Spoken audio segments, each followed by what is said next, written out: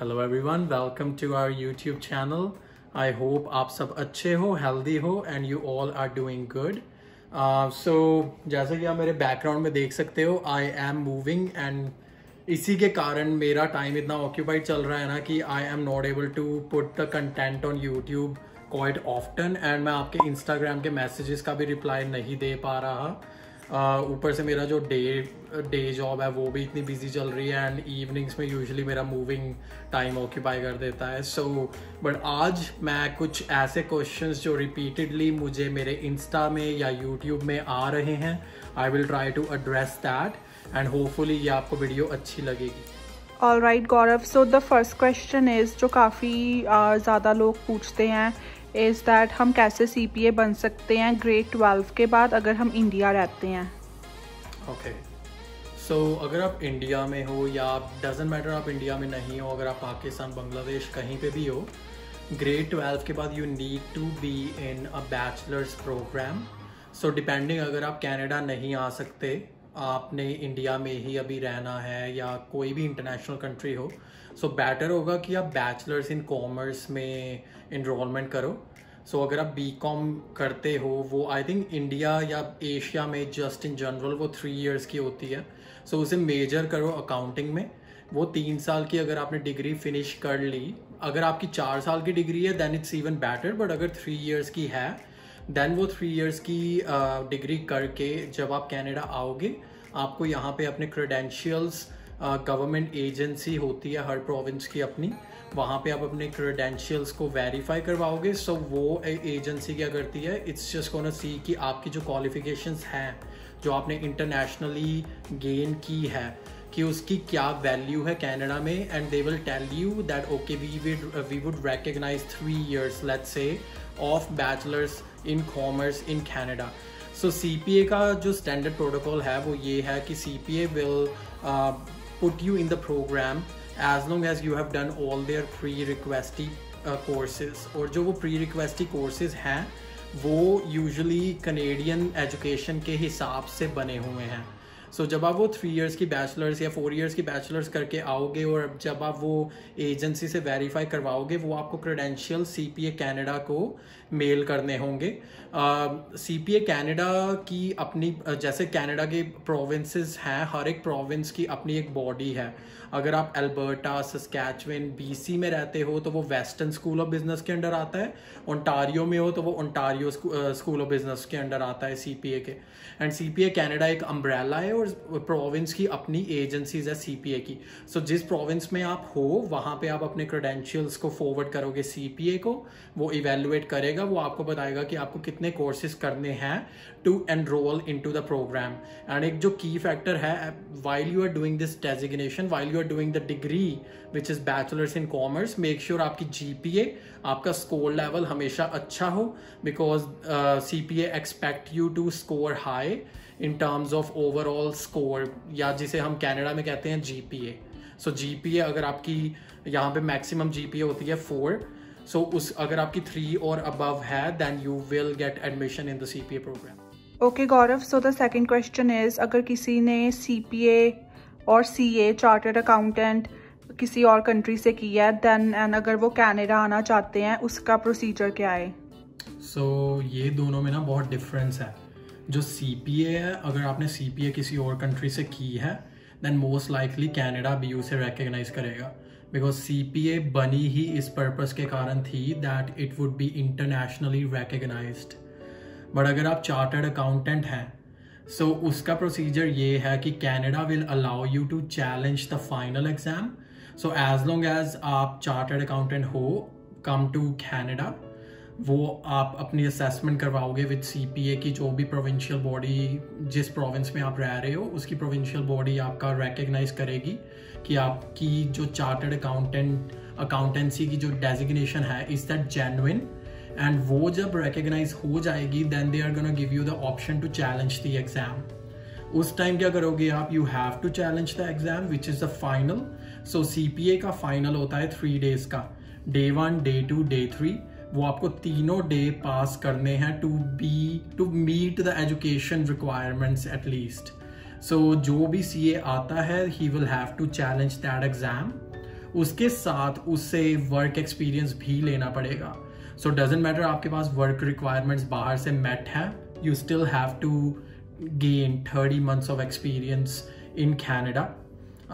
to gain your C P A designation here okay so the next question is आपने जैसे बोला कि work experience so आपको कहाँ से वर्क एक्सपीरियंस चाहिए? कोई स्पेसिफिक एम्प्लॉयर और हम किसी भी अकाउंटिंग डिपार्टमेंट में काम करके वो वो एक्सपीरियंस ले सकते हैं? सो गुड क्वेश्चन उसका जो रिप्लाई है ना वो आपका एम्प्लॉयर दे सकता है बैटर सो so, जब आप सीपीए की जिस प्रोविंशियल बॉडी के साथ आप रजिस्टर्ड हो इट विल टेल यू कि आपको किस किसमें आवर्स चाहिए या एक्सपीरियंस चाहिए। सो so, टिपिकली आपको ऑडिट में एक्सपीरियंस चाहिए एश्योरेंस में एक्सपीरियंस चाहिए जो कि रिव्यू होती है। So review engagements audit engagements and उसके साथ साथ आपको फाइनेंशियल अकाउंटिंग और मैनेजमेंट अकाउंटिंग में एक्सपीरियंस चाहिए होता है। सो so, सी का जो बेसिक स्ट्रक्चर है वो ये है कि थर्टी मंथ्स का तो आपको एक्सपीरियंस चाहिए just in general so let's say अगर आप किसी एक्स वाई जी कंपनी के लिए काम कर रहे हो एज लॉन्ग एज अगर उस एक्स वाई जी कंपनी में आपका एम्प्लॉयर या आपका सुपरवाइजर आपको ऐसे काइंड का एक्सपीरियंस दिलवा सकता है, जिसमें आप ऑडिट का एलिमेंट जिसमें आप थोड़ा सा कह लो financial accounting management accounting performance management ये डिफरेंट आस्पेक्ट्स अगर आप गेन कर सकते हो then you will be most likely be okay in terms of gaining the experience. Now इसमें दो कैटेगरीज होती हैं। एक होता है अप्रूव्ड प्रोग्राम दूसरा होता है एक्सपीरियंस राउट सो so, जो प्री अप्रूव्ड प्रोग्राम होता है वो होता है नॉर्मल टिपिकल अगर आप पब्लिक अकाउंटिंग फर्म्स में जाते हो सो so, सी उनके प्रोग्राम जैसी ट्रेनिंग आपको एक पब्लिक अकाउंटिंग फर्म देती है।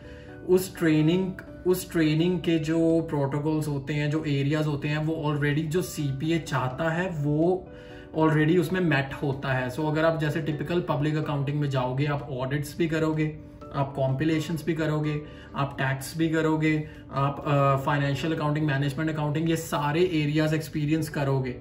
दैट्स वाई वो जो ऑफ़िस होते हैं ना मोस्ट लाइकली उनकी ट्रेनिंग को ऑलरेडी प्री अप्रूव्ड माना जाता है। और अगर वो प्री अप्रूव्ड है, उसका मतलब ये है कि if you are working there आप जब सी की अपनी पर्ट रिपोर्ट बनाते हो, जो कि, जिसे हम कहते हैं प्रैक्टिकल एक्सपीरियंस रिपोर्टिंग टूल जब जब आप वो बनाते हो, आपको जस्टिफाई भी नहीं करना पड़ता कि मैंने किया क्या है इस एरिया को कवर करने के लिए बिकॉज़ सी को ऑलरेडी पता है कि आप इस ऑफ़िस में काम कर रहे हो and you are gaining that experience but अगर आप एक्सपीरियंस राउट में हो लेट्स से अगर आप एक्स वाई जी कंपनी में हो, जो कि एक टिपिकल पब्लिक अकाउंटिंग नहीं है उस टाइम आपको अपना एक एक जो कॉम्पिडेंसी है ना, उसे इलेबोरेट करना पड़ेगा कि मैंने ये एक्सपीरियंस कहाँ गेन किया, कैसे गेन किया। और एज लॉन्ग एज आपका सुपरवाइजर उसे जस्टिफाई करे अग्री करे आपकी रिपोर्ट को, और सीपीए को लगे कि वो जो आपका बिज़नेस एरिया है, जहाँ पे आप काम कर रहे हो that you are gaining that relevant experience then you should be okay so the next question is अगर हम कैनेडा में ग्रेट ट्वेल्व के बाद हमें कौन सी एजुकेशन लेनी चाहिए या कौन सी डिग्री लेनी चाहिए to be eligible for C P A so हमें सी पी ए में एडमिशन मिल सके। Honestly speaking as long as अगर आपके पास कोई भी बैचलर डिग्री है, किसी भी डिसिप्लिन में यू शुड बी फाइन इसका मतलब ये है कि you won't get admission in C P A अगर आप bachelors in commerce major accounting करते हो, अगर आप वो प्रोग्राम करते हो then it's the ideal program अगर आप क्या, अगर आप इस टाइम ग्रेड ट्वेल्व में हो एंड यू आर क्लियर कि आपको सी पी ए बनना है then your ideal route is to complete an accounting degree accounting degree Canada में फोर ईयर्स की होती है. उस फोर ईयर्स के प्रोग्राम में सारे वो कोर्सेज होते हैं जो सी पी ए को चाहिए होते हैं. the moment you finish that designation the moment you finish that degree you can apply to cpa to be into the program and most likely you will enter into the program as long as आपकी gpa three uh, या three से above है Uh, बाकी अगर कोई discipline में आपने bachelors degree की है don't lose heart you can still become C P A but उसका आपको ये करना पड़ेगा कि you will have to submit your credentials and C P I is gonna most likely tell you to do some courses और वो courses majority of the courses होंगे आपके अकाउंटिंग uh, के कोर्सेज जो कि आपके थर्ड एंड फोर्थ ईयर के होते हैं सो अकाउंटिंग एंड ऑडिटिंग के कोर्सेज होंगे टैक्स के। एंड रफली टेन टू फिफ्टीन कोर्सेज होंगे जो आपको करने पड़ेंगे, अच्छे स्कोर्स लेने पड़ेंगे and then you will get into the program so there is another question जो मुझे लगता है कि वो बहुत सारे लोग जानना चाहते हैं विच इज़ सी पी ए कितनी डिफ़िकल्ट है? इज़ इट ईजी आपको कितने ज़्यादा स्टडी आवर्स इन्वेस्ट करने पड़ते हैं weekly can you talk about that so difficulty के मामले में यार ऐसा है कि C P A is not easy for sure it's not going to a university और college and you know pass हो जाना, वैसा तो बिल्कुल भी नहीं है। तो अगर आप वो मेंटालिटी से आ रहे हो then for get it this is gonna change you completely it has changed me मैं पहले बहुत हैप्पी चर्पी नोटी होता था बट इसने मेरे को बंदा बना दिया इस पढ़ाई ने। इतना पढ़ना पड़ता है एटलीस्ट मेरे केस में हर एक की मेमोरी डिफरेंट uh, होती है हर एक का और स्किल डिफरेंट होता है सो so, मैं ये नहीं अपने आप से कंपेयर नहीं कर सकता हर एक को may be someone someone would disagree and they will say oh it's easier or someone would say it's impossible. So जब मैंने ये अपनी जर्नी शुरू की थी मेरे को जो बंदे मिले थे वो कहते थे कि उन कि they can't even complete the first stage and वो मेरे आगे एग्ज़ाम्पल लेके आते होते थे कि तुझे पता है वो भी फेल हो गया ये भी फेल हो गई blah blah blah so so, वो जब अगर आप वो वाइट नॉइस को अवॉइड करोगे और मैं आपको हद से हद ये कह सकता हूँ कि it's not easy but as long as you are determined as long as you are inputting hours अब ये नहीं है कि मैं टीवी देख रहा हूँ। मैंने अपनी बहुत ज़्यादा social life with Neha with my friends with my family compromise की और मैं मेरे लिए सबसे बिगेस्ट प्रायोरिटी होती थी पढ़ना है। और पढ़ना ऐसे नहीं है, एक स्ट्रेटजी होती है। CPA is not just like book खोली रीड किया and you are done you have to have a strategy it's more like अगर आप अच्छी स्ट्रेटजी यूज़ कर सकते हो to write your cases to deliver the exams then you can pass इसमें एक ट्रिक है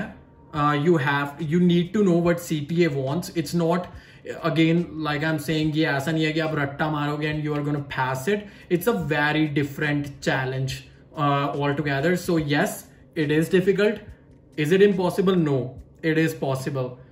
do you have to work hard yes you have to work hard so as long as you are willing to do that मैंने कर ली है तो I am pretty sure काफी सारे जो ये सुन रहे होंगे even they can do it how many hours did you study per week well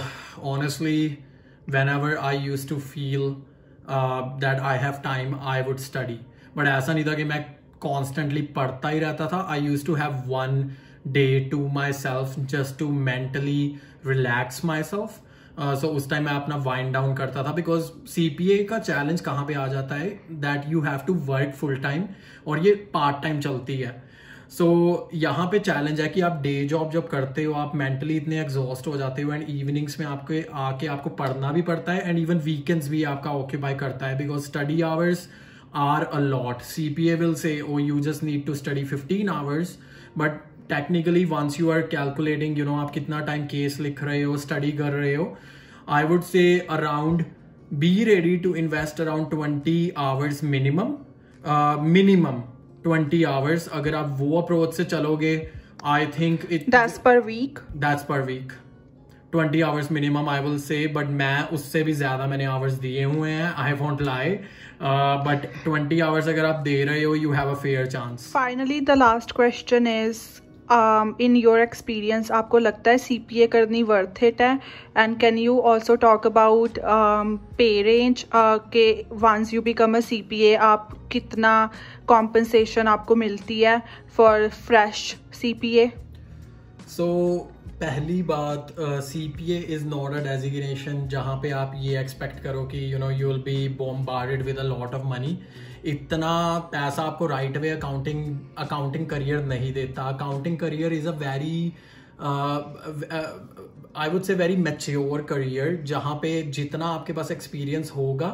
the more value you will earn in your later stages so initially आपको बहुत मिनिमल पे रेंज से शुरू करना पड़ेगा। सो uh, स्टार्ट so, करते हैं कि अगर आप आफ्टर ग्रेजुएशन अकाउंटिंग डिग्री करके हटते हो then you are mostly averaging in Canadian around 36 to 45 roughly uh, fresh graduate uh, अगर आप सी पी ए डेजिग्नेशन कर लेते हो दैट uh, मीन्स आपने वो आर्टिकलिंग पार्ट भी कर लिया है जो कि थर्टी मंथ्स का एक्सपीरियंस है.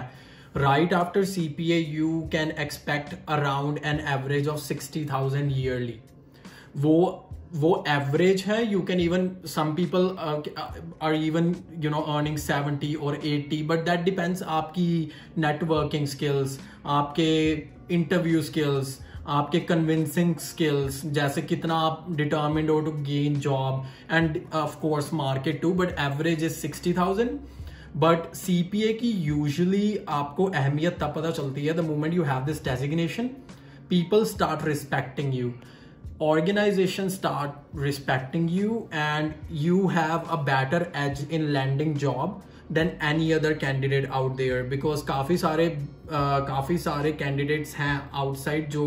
same job apply करेंगे जो आप apply करोगे but they are not designated so, वहाँ पे आपको एक एज रहती है एंड मैक्सिमम जॉब्स जो कनाडा में पब्लिश भी होती हैं उसमें वो कहते हैं कि a designation is required so C P A एक आपको एक टूल दे देता है कि people will start taking you seriously you will have better scope better probability of landing a job and obviously you want you want gain minimum pay you will gain decent pay but yeah you can't compare that with a lawyer और a doctor eventually you will get there but it's gonna take some years for sure so I hope आपको आज की video अच्छी लगी होगी. Once again I would like to apologize to each and every one of you जो काफ़ी देर से मेरी वीडियो की वेट कर रहे थे, काफ़ी देर से मेरे मैसेजेस के रिप्लाई की वेट कर रहे थे. ट्राई टू अंडरस्टैंड यार कंपनी का ईयर एंड चल रहा है, हम पैकिंग कर रहे हैं so a load is going on but I promise you we will become more consistent just give us some more time once we have everything you know, in line, we will we will get back to uploading more and more content. But yeah I hope आपके majority of question इस video से answer हो गए होंगे। And be safe be healthy I hope आप सब अच्छे रहें and will meet on in the next video take care